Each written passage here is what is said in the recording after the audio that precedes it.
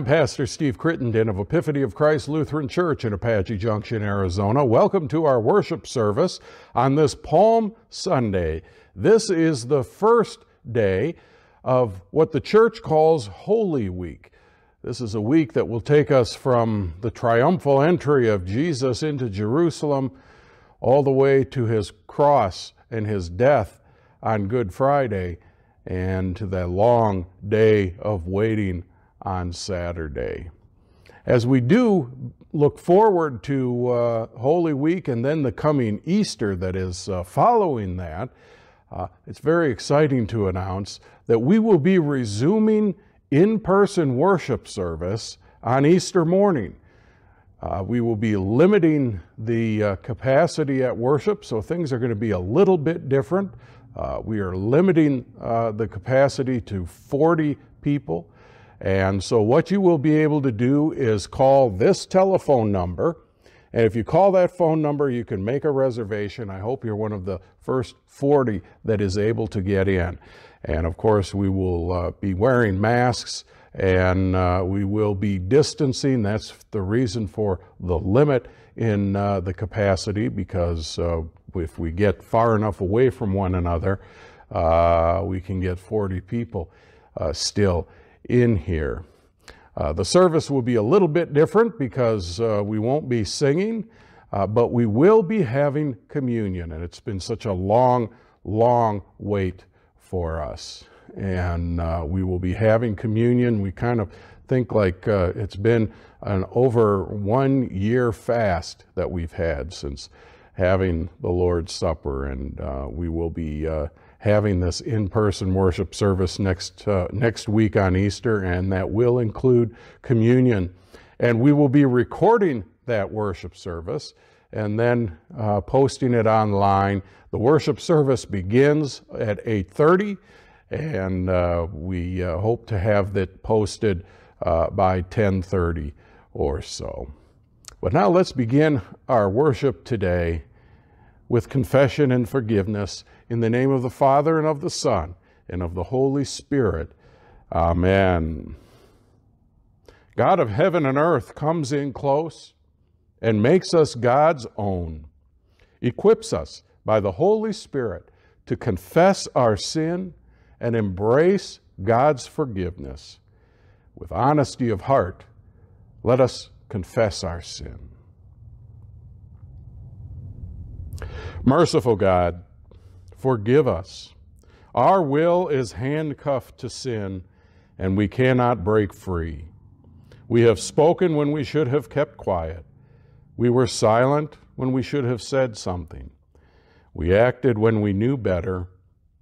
We were still when we know we should have moved. For the wrong we have done, for the good we have failed to do, have mercy on us through Jesus Christ, our Savior and Lord. Amen. People of God, see the Son, given to heal you and set you free because God loved the world so much. Take hold of life, eternal life. Amen.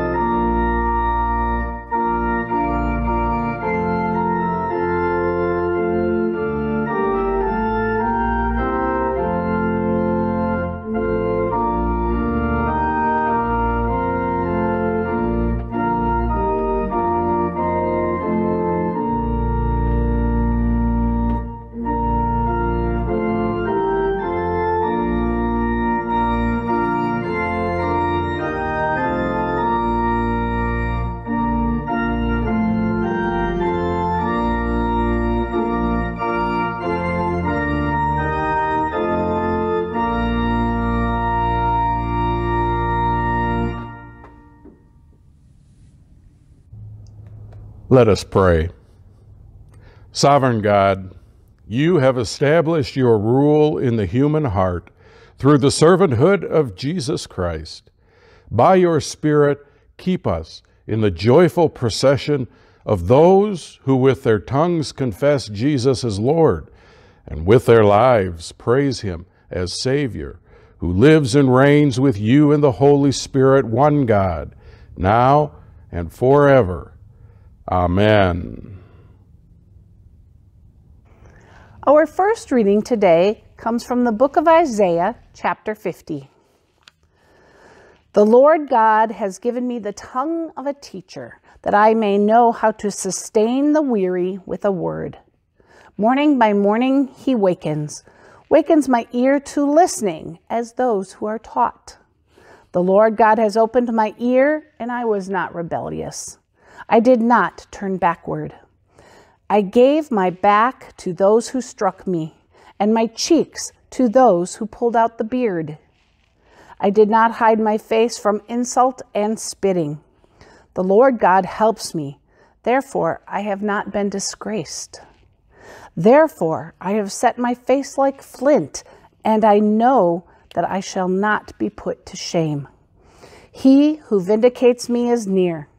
Who will contend with me? Let us stand up together. Who are my adversaries? Let them confront me. It is the Lord God who helps me. Who will declare me guilty? Word of God, word of life.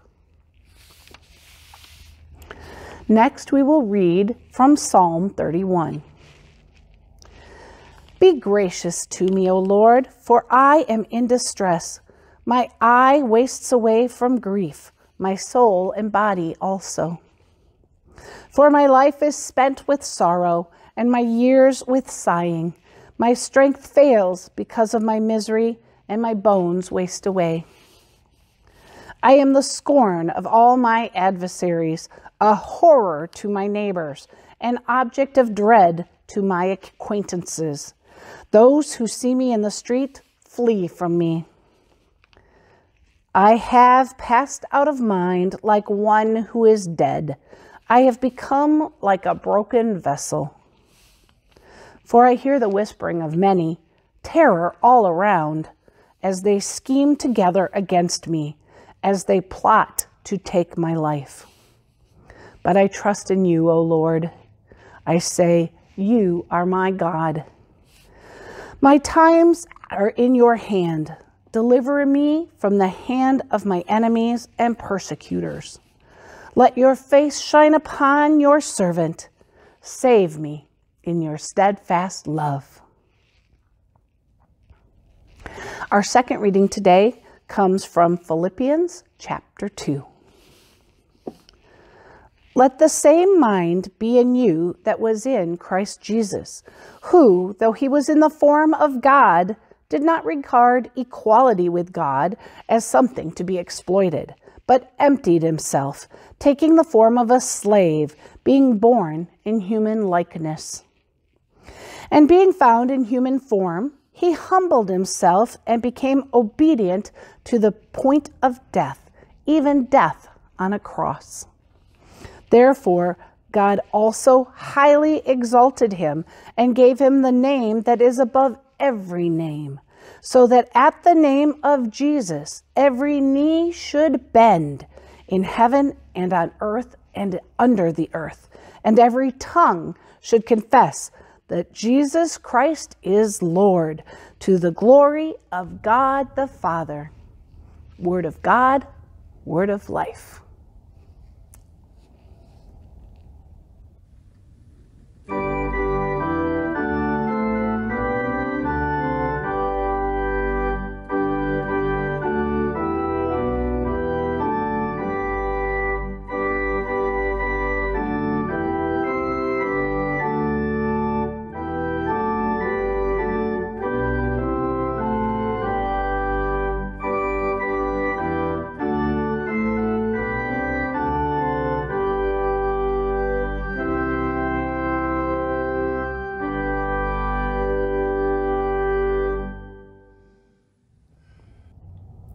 Hear now the Holy Gospel according to Mark, the 11th chapter. When they were approaching Jerusalem at Bethphage and Bethany, near the Mount of Olives, Jesus sent two of his disciples and said to them, Go into the village ahead of you, and immediately as you enter it, you will find tied there a colt that has never been ridden. Untie it and bring it. If anyone says to you, Why are you doing this? just say, The Lord needs it, and will send it back here immediately. They went away and found a colt tied near a door outside in the street. As they were untying it, some of the bystanders said to them, What are you doing untying the colt? They told them what Jesus had said, and they allowed them to take it. Then they brought the colt to Jesus and threw their cloaks on it, and he sat on it. Many people spread their cloaks on the road, and others spread leafy branches that they had cut in the fields. Then those who went ahead and those who followed were shouting, Hosanna! Blessed is the one who comes in the name of the Lord.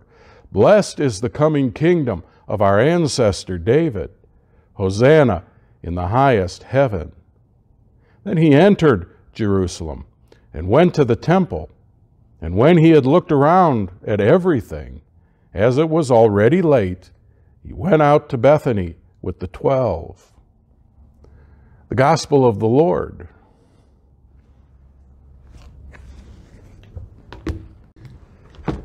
There is so much going on in this Gospel reading. Mark is a very, uh, uh, the shortest of the four Gospels that we have. There's the fewest chapters and verses and words, and Mark densely packs these 11 verses that we have, and I would like to focus on the last few verses.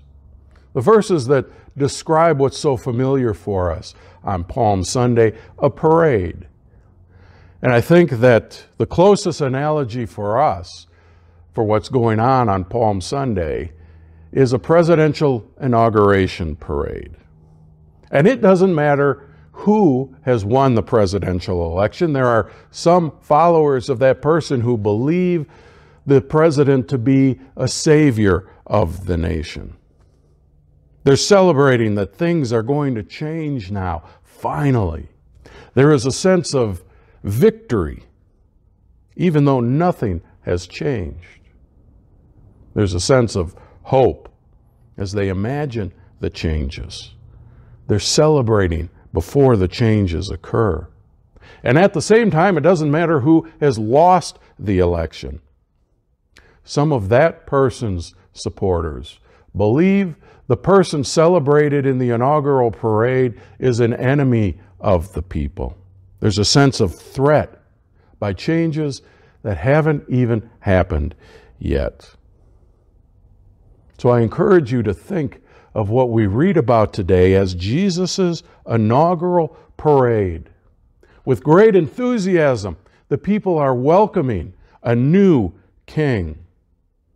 And they're doing so in traditional ways. David and Solomon, they both rode humbly on a donkey, not on a horse in their inaugural parades. They rode on donkeys. You see, a horse, that's an instrument of war, but a donkey is not. The new kings wanted to signal to the people that they are not a threat to them. And these palm branches that are laid on the street and waved for the new king. That's not a tradition that we read about in the Old Testament. That comes out of uh, 1st and 2nd Maccabees. These are books that are part of what we call the Apocrypha.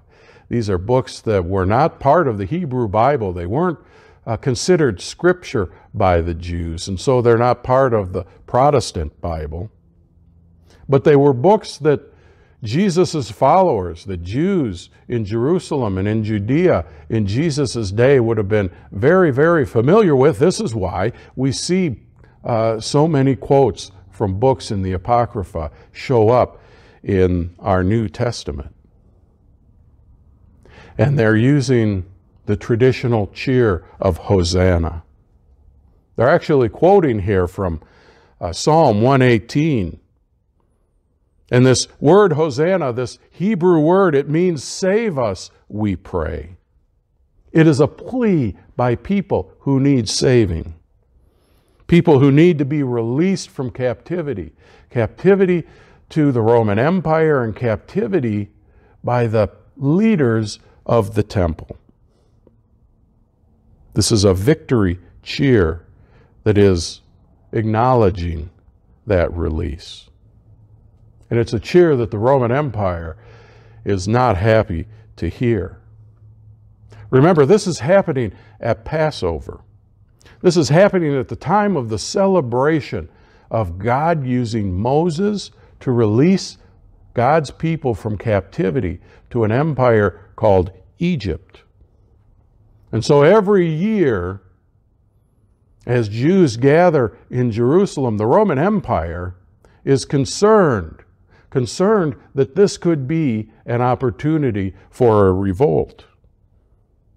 And so every year, the governor of the Roman province of Judea, who usually lives, I think, in, in one of the Caesareas, he comes to be a presence in Jerusalem at this time. Riding on an instrument of war, riding on a horse with an army accompanying him. This man named Pontius Pilate is threatened by Jesus.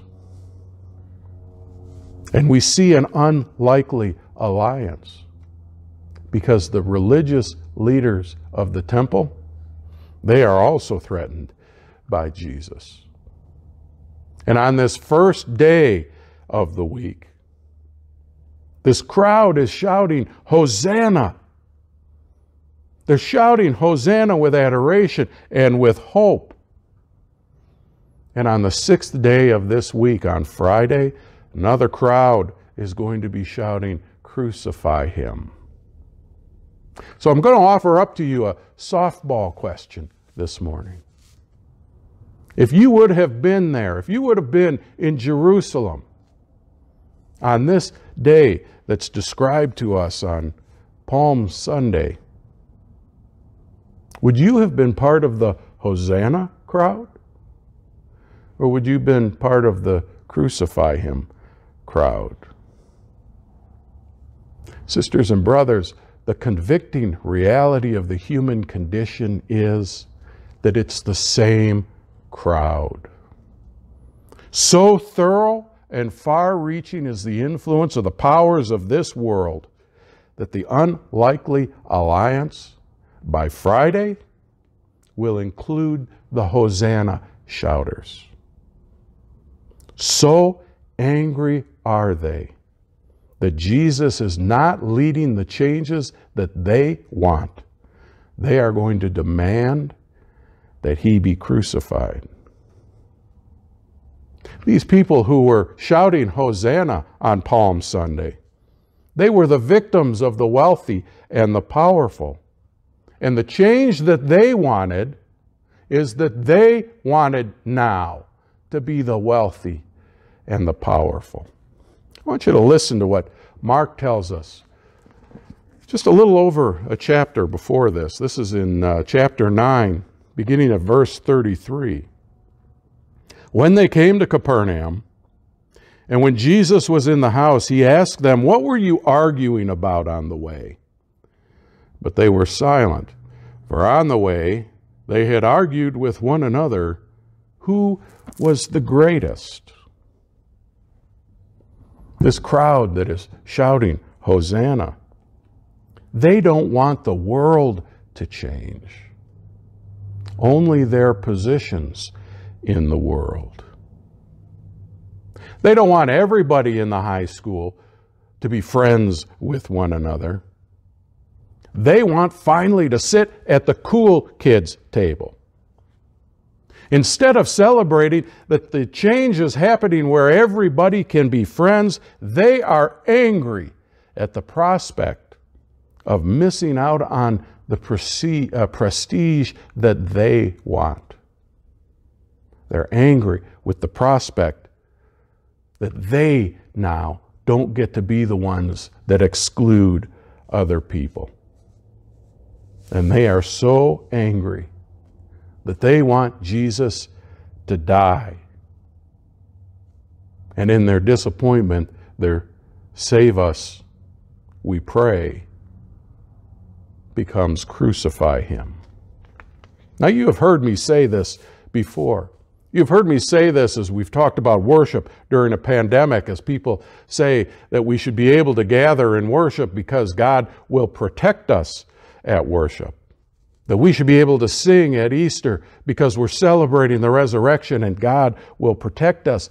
But, sisters and brothers, God never promises that. It's so important for us to be able to live what John calls eternal life, to live into the promises that God makes, but we need to make sure of what promises God does and doesn't make. And the truth is that Jesus never promised his followers that it's their turn to be the wealthy and the powerful. That's not the good news of great joy for all people that the angels said to the shepherds at Jesus' birth. I want to remind you what we hear following what I read from Mark chapter 9. I'm going to reread it and add the verse that follows. This is verse 33. When they came to Capernaum and Jesus was in the house with them, he asked them, What were you arguing about on the way? But they were silent, for on the way they had argued with one another. Who was the greatest? He sat down. Now, this is a, uh, indicating a position of teaching. So Jesus is being a teacher here. He sat down, called the twelve, and said to them, Whoever wants to be first must be last of all and servant of all.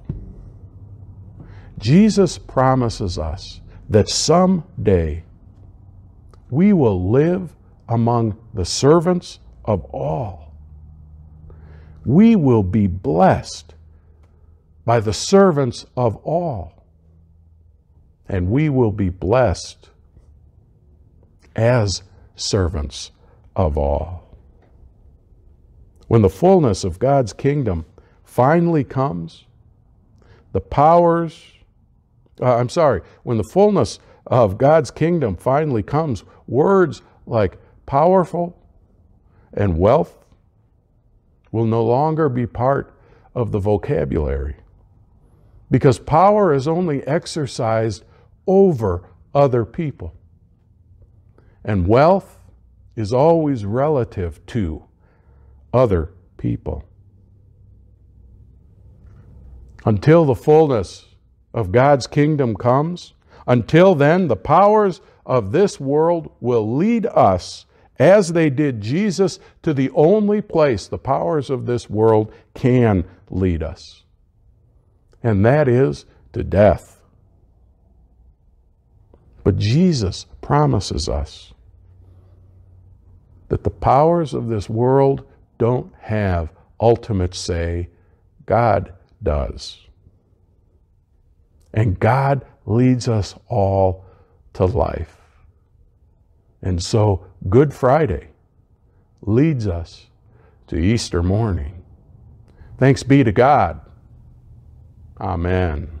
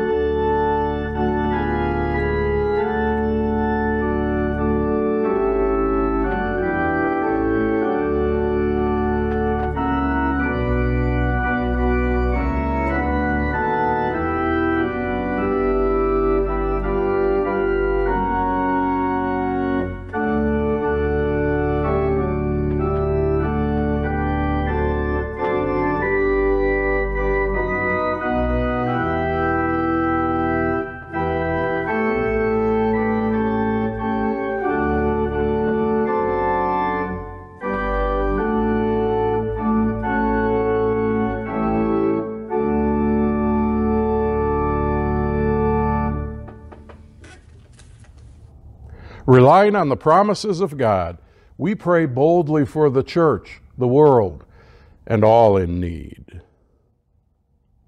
In Jesus, you came among us as a suffering servant. Give your church humility. Redeem your people from pride and certainty that we always know your will. Heal us and empower us to confess Christ crucified. Hear us, O God. In creation, life springs from death. Redeem your creation awaiting resurrection. Restore lost habitats and endangered species. Create new possibilities for areas affected by climate change. Grant relief from natural disasters and nurture new growth. Hear us, O God. Jesus was handed over to the powers of this world. In all nations, instruct the powerful, that they would not exploit their power but maintain justice, sustain soldiers, and guide those who command them, that they serve the greatest need. Hear us, O God. On the cross, Jesus joined all who feel forsaken. Abide with those who are condemned to death. Defend those who are falsely accused console and strengthen those who are mocked or bullied, accompany all who suffer, grant respite and renewal. Hear us, O God. You called followers to attend to Jesus' body in death, sustain hospital workers, hospice workers, and funeral directors. Bless all who plan and lead funerals those who prepare meals, and all who offer support in grief. Hear us, O God. We praise you for the faith you have given to people of all places and time. Give us also such faith to trust the promises of baptism and with them to look for the resurrection of the dead. Hear us, O God. We entrust ourselves and all our prayers to you, O faithful God, through Jesus Christ our Lord. Amen. Merciful God, receive the sacrifice of our praise and thanksgiving and the offering of our lives, that following in the way of the cross, we may know the joy of the resurrection. Through Jesus Christ, our Savior and Lord, who teaches us to pray.